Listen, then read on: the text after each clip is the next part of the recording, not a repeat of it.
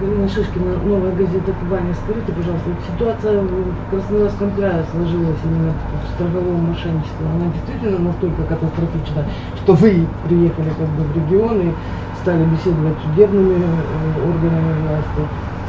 Ну, мы У нас отвечаем- есть информация, что в 16 раз превышает уровень страхового мошенничества об- общероссийский в Краснодарском крае. У меня такой информации нет.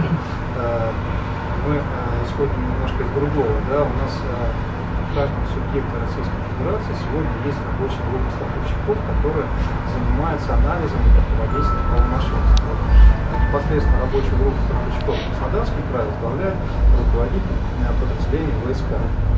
А, И э, мы сегодня обсуждали как раз с коллегами, которые здесь присутствуют, ситуацию, как она развивается в Краснодарском крае. У нас есть определенные показатели, я их называл примером ОСАГО, а, которые э, характерны для изменения ситуации в худшую сторону. То есть растет средний выплат, увеличивается количество выплат по судам, увеличивается уровень выплаты, то есть э, доля выплат по сравнению с заработанной премией, она растет. Вот эти показатели, они как раз э, переводят рейтинг Краснодарского края в более худшую зону.